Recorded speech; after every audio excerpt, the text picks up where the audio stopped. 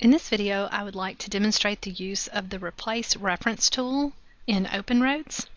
This tool will take a ruled civil feature and replace the element that it is ruled to with a different specified element.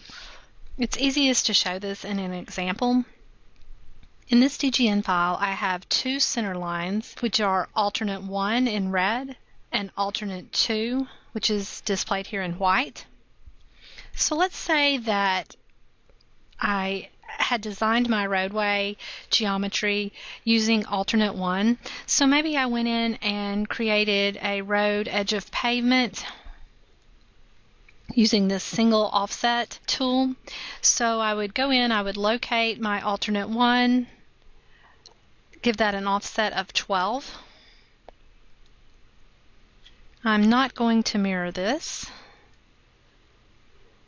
So now I've created this ruled element and you can see when you highlight this that it is ruled to alternate 1. Now I could go in and create the other edge of pavement and just for this example I'm going to rule it to this other edge of pavement. So I'll go in and use this command again, single offset entire element.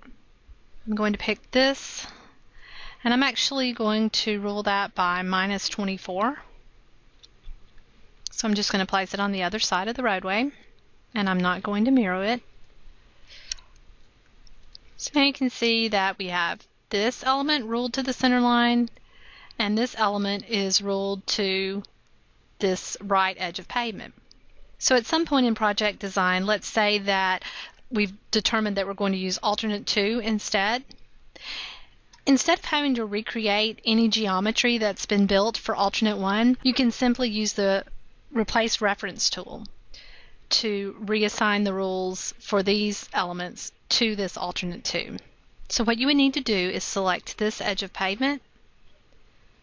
If you look in the rules drop-down, you'll see this icon which is replace reference. So I'll select that.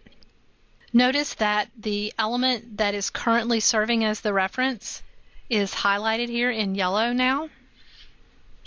I'm prompted to locate the replacement element, so I'll go out and select alternate 2.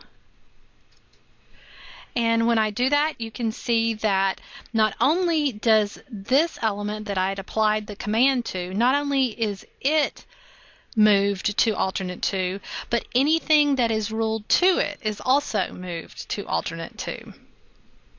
So let me do an undo and just show you what would happen. If I change the reference on this one, it would not work as desired. So let's say that I selected this left edge of pavement, went in, and used replace reference. You can see that the right edge of pavement's in yellow. And if I go in and select this, it's going to be 24 feet to the left of this alternate 2.